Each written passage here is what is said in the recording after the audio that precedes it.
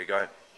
Thank you, Papa John and Aunt Carol, for the Halloween cards and the five dollar bill.